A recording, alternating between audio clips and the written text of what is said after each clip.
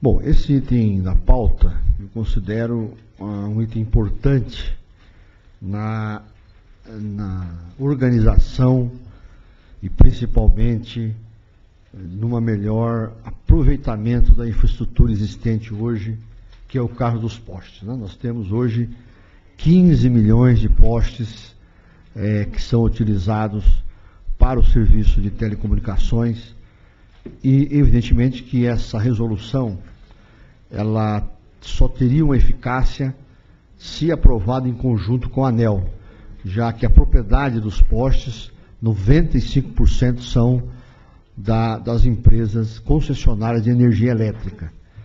É, a ANEL, é, na reunião extraordinária dela de 11 horas, acabou de, já de aprovar essa mesma resolução, que nós tivemos aí um tempo grande de debates e discussões com a ANEL.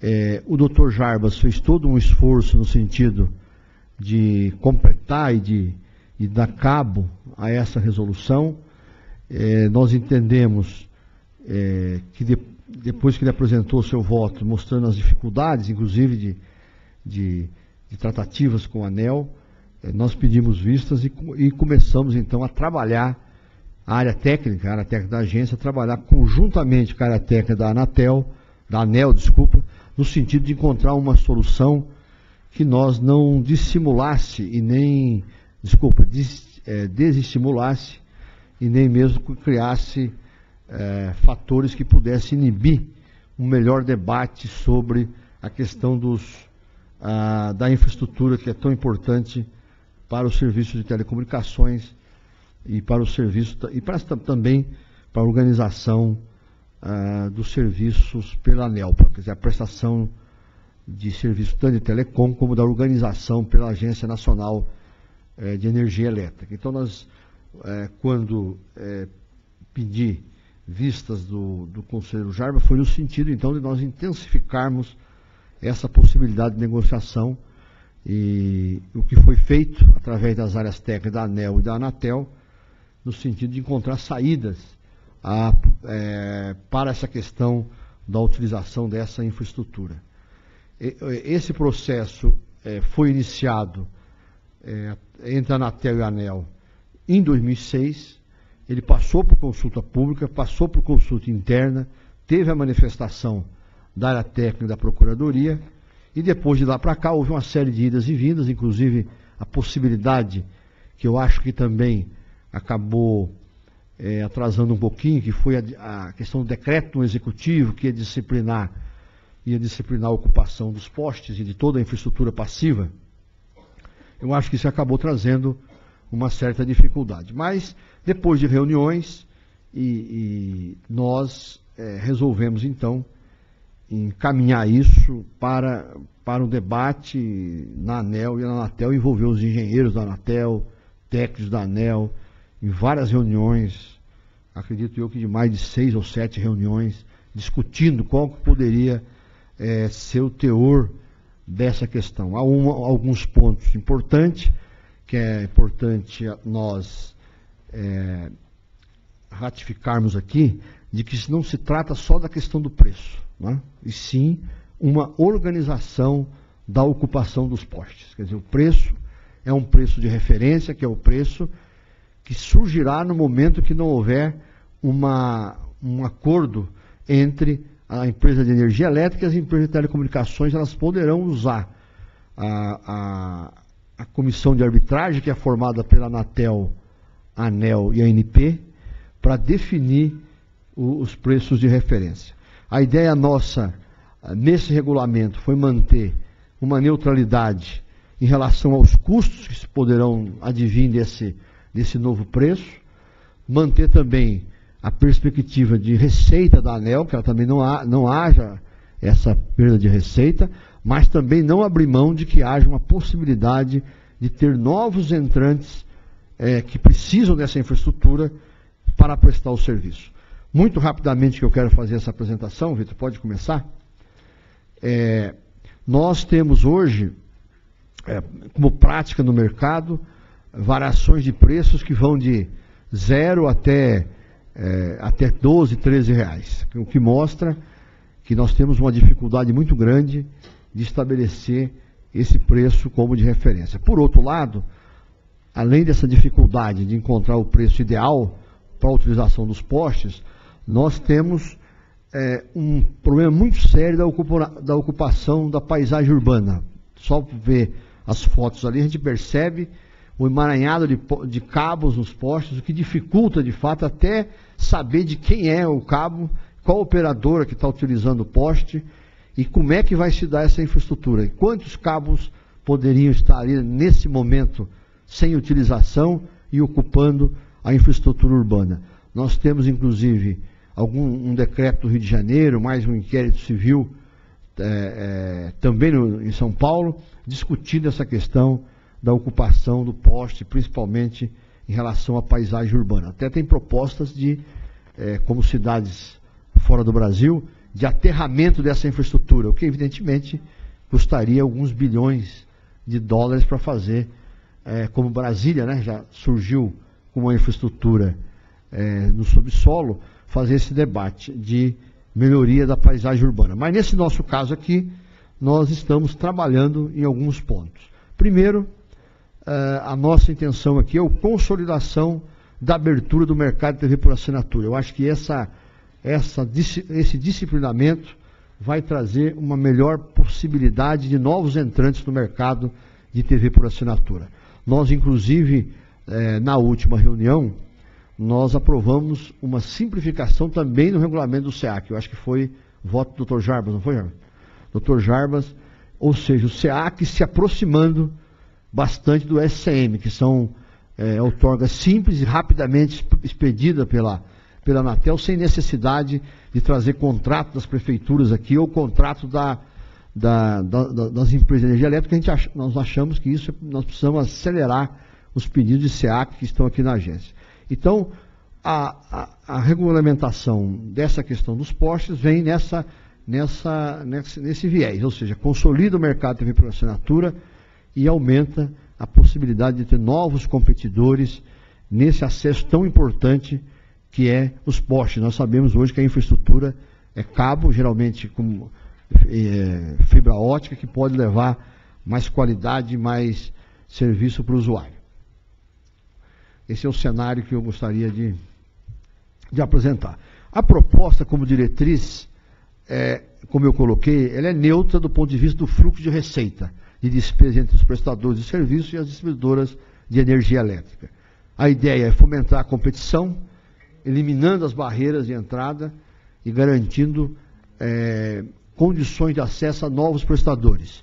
E também racionalizar o, o uso e ocupação da infraestrutura dos postes alinhamento, inclusive com, com preocupações de, de urbanização, preocupações urbanísticas, de ocupação do espaço urbano.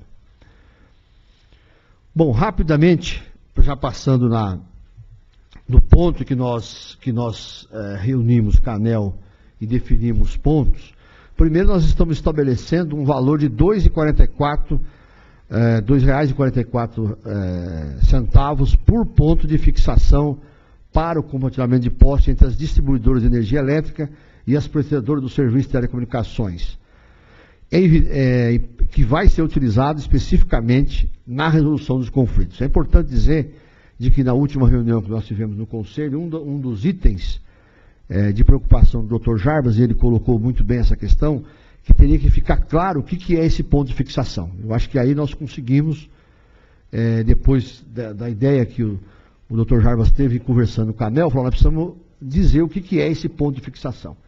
Então nós estamos estabelecendo que o ponto de fixação é definido como ponto de instalação de suporte e sustentação de mecânica de cabos, fios ou cordoalhas, é, de prestador de telecomunicações dentro da faixa de ocupação do poste destinada ao compartilhamento. Isso é importante, essa definição, porque na realidade, no entendimento da nossa área técnica, da nossa engenharia, inclusive de acordo com as normas da BNT, esse ponto de fixação pode comportar mais de um cabo. Quer dizer, esse vai ser talvez um dos debates, doutor Jarbas, da consulta pública, porque algumas prestadoras podem alegar que não dá para juntar tudo num, num ponto de fixação só, mas nas reuniões que tivemos com as áreas técnicas de engenharia, eles colocam claramente que é possível que haja essa reorganização.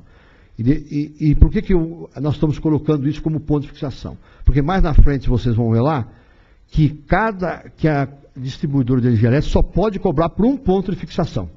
Então, o que vai acontecer é de que, naqueles casos onde as empresas utilizem vários pontos do poste, ela vai ter que se reorganizar nesse ponto de fixação e pagar os 2,44 para a utilização do poste. Então, nós estamos colocando que a, a distribuidora de energia elétrica, as distribuidoras podem cobrar apenas um valor correspondente ao ponto de fixação por poste é, das prestadoras do serviço de telecomunicações independente da quantidade de pontos de fixação efetivamente ocupados. Então, isso, por que, que nós estamos fazendo isso? As concessionárias de telecomunicações, naquele mercado, que muitas vezes ela é quase um monopólio, né?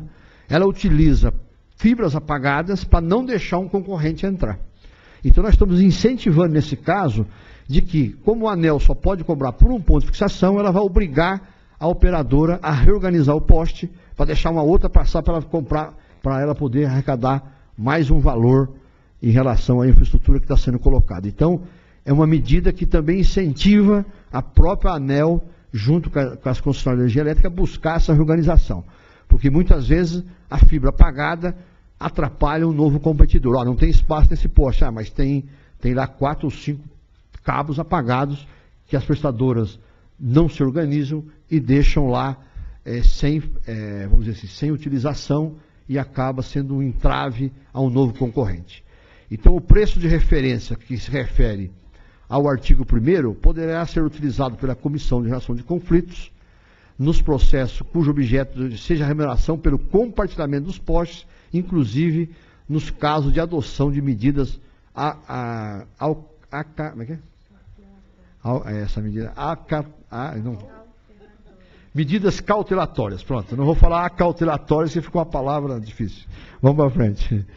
Bom, as prestadoras do serviço de telecomunicações, individualmente ou o conjunto das prestadoras do serviço de telecomunicações, que possuam relação de controle com controladoras controladas ou coligadas, não pode ocupar mais de um ponto de fixação em cada poste. Quer dizer o seguinte, se tiver um grupo econômico que tenha telefonia fixa, TV a cabo, ou fibra ótica para banda larga, ele vai ter que concentrar num lugar só a passagem desse ponto, nesse ponto de fixação. Isso também é para o grupo econômico, quer dizer, nós estamos colocando lá como incentivo e aqui obrigando que haja esse grupo econômico. É, para os casos de compartilhamento já existente, na data da publicação desta resolução, do Serviço de Telecomunicações devem regularizar a ocupação dos pontos de fixação mediante notificação pela distribuidora de energia elétrica, somente quando não existir, no mínimo, um ponto de fixação disponível é, para o poste. É importante dizer isso, que muitas regiões no Brasil não há essa, essa competição exigindo poste. Então nós vamos exigir que haja ponto disponível em reorganização nos mercados mais competitivos, onde as empresas querem utilizar o poste e não há possibilidade. Então, isso, de, isso demanda um menor custo, porque nós não estamos pedindo para que haja uma regularização em todo o sistema, nos 15 milhões de postes.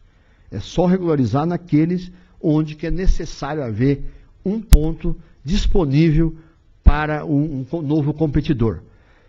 Pode passar, Vitor. Nessa outra questão, já tem umas questões mais voltadas a, a prazos que nós estamos estabelecendo em relação a isso.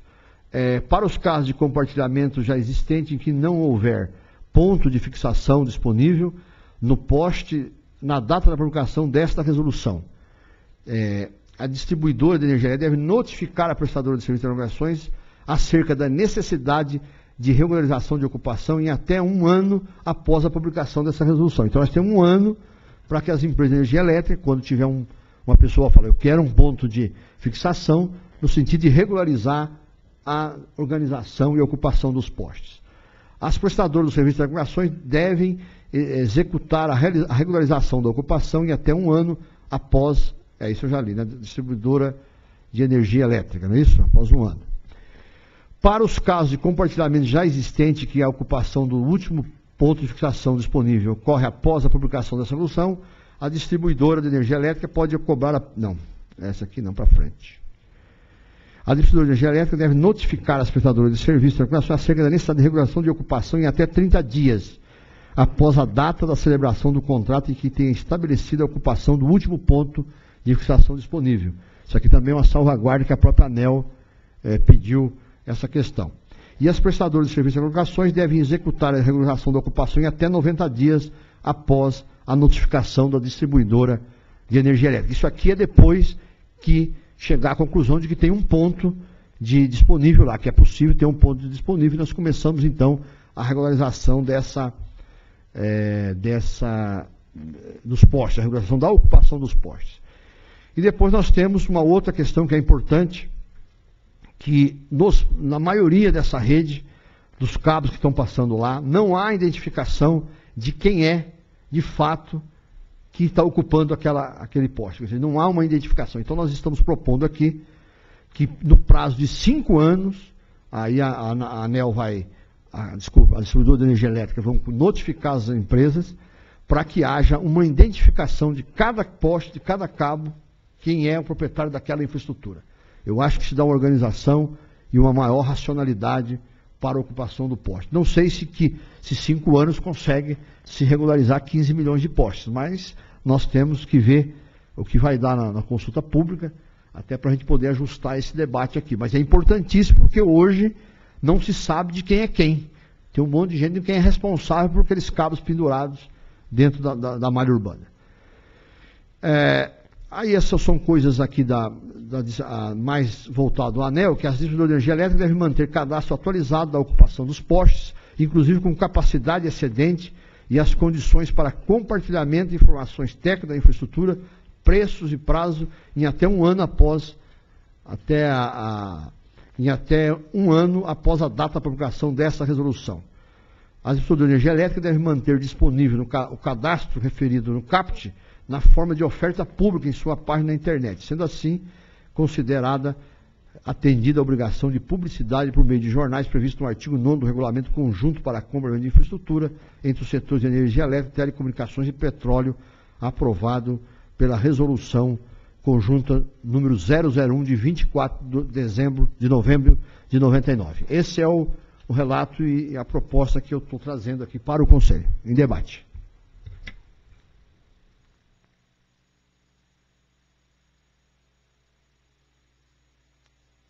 Presidente, queria fazer só uma, um esclarecimento que eu acho que é fundamental, é, porque está havendo muita discussão, lógico, isso aqui foi muito bem conduzido, ah, sem ter necessidade de, um decreto, mas um, uma resolução conjunta na TEONEL.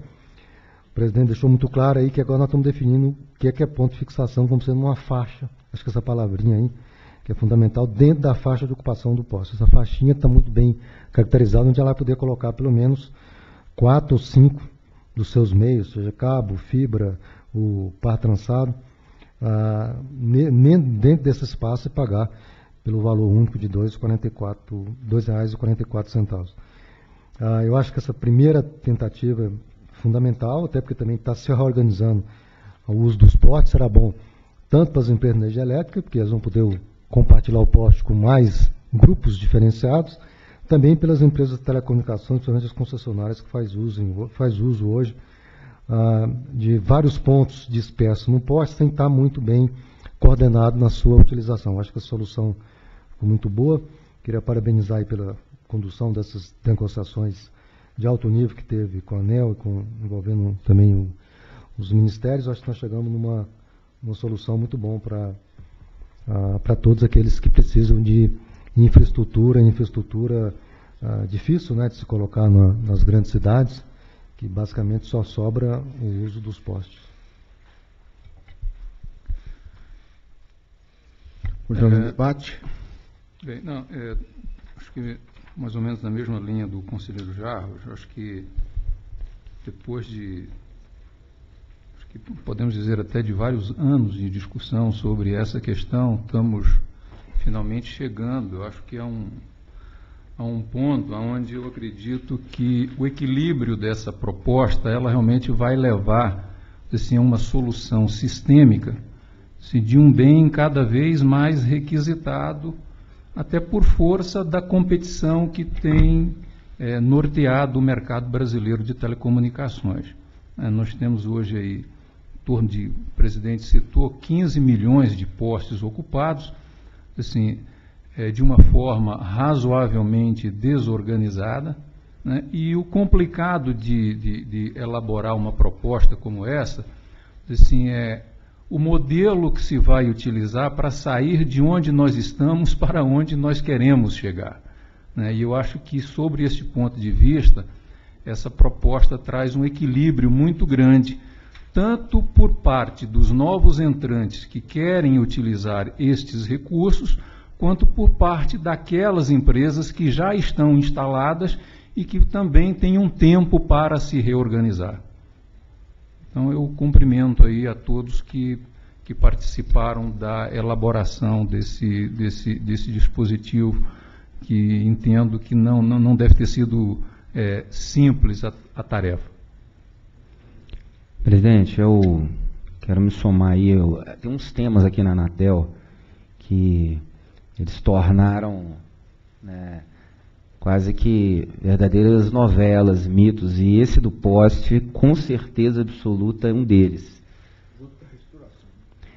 Pois é, junto com a restauração. E eu estava exatamente pensando sobre a restauração, que eu acho que é, a possibilidade de você ter, agora, eu sei que teve uma participação importante, certamente, na própria superintendência de competição nesse trabalho, provavelmente outras superintendências, áreas técnicas como um todo, eu acho que já mostra o resultado da, dessa reestruturação, como é que as novas soluções para problemas antigos que não conseguiram ser resolvidos começam a criar realmente corpo. Eu acho que esse trabalho conjunto com, com outro órgão regulador só é, dificulta ainda mais, porque é sempre difícil, né? Um, apesar de ser uma agência reguladora, você ter que articular mercados distintos, mas que são dependentes, em que pese uma, uma resolução já existente, eu queria, queria realmente parabenizar e ver que, que muitos desses elementos da área competitiva que tem norteado o PGMC e outras posturas que a Anatel vem adotado com questões de valores de referência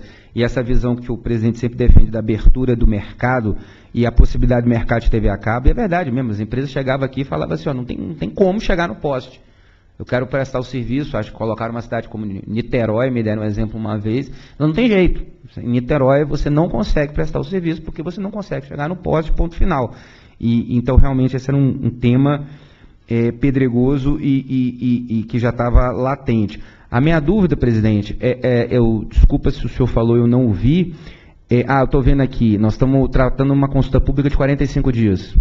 Perfeito. Então tá certo. Parabenizando o seu gabinete e as áreas técnicas que contribuíram com esse trabalho extraordinário. Presidente, ah, acho que não ficou claro também, ah, apesar de ser conjunto a resolução, tem alguma previsão já de data de publicação já. e aprovação da ANEL? Já. Não, a ANEL já aprovou. Agora às 11 horas, em reunião extraordinária, ela aprovou. E eu gostaria só de, de colocar uma questão, de que eu acho que foi importante inserir isso dentro da, desse debate, de que a ANEL, ao fazer um banco de dados, mostrando como é que está a ocupação de cada poste com essa infraestrutura, nós vamos ampliar a transparência para aquele que não tem, para saber quem é que está ocupando essa infraestrutura, que é uma infraestrutura importante é, para o setor. Então, a, a, minha proposta aqui seria, eu não li, né, na verdade, tenho que ler aqui ainda a proposta é, de, de proclamação do voto, né, que é item 1, é, proponho a submissão à consulta pública pelo prazo de 45 dias de proposta de resolução que aprova o preço de referência para o compartilhamento de postos entre distribuidores de energia elétrica e prestadores de serviços de telecomunicações a ser utilizado nos processos de, processos de resolução de conflito e estabelece regras para o uso e ocupação dos pontos de fixação nos termos da minuta em anexo. Determinar a Superintendência de Competição e de Planejamento e Regulação conduzam em conjunto com a ANEL duas audiências públicas nos termos regimentais de cada agência, a serem realizadas na cidade de Brasília em 11 de nove de 2013 e de São Paulo em 4 de nove de 2013, concomitante ao período de realização da consulta pública para apresentação da matéria e debate com o público em geral. Essa é o encaminhamento e a definição uh, do voto. Então vamos para a votação. Doutor para ficar.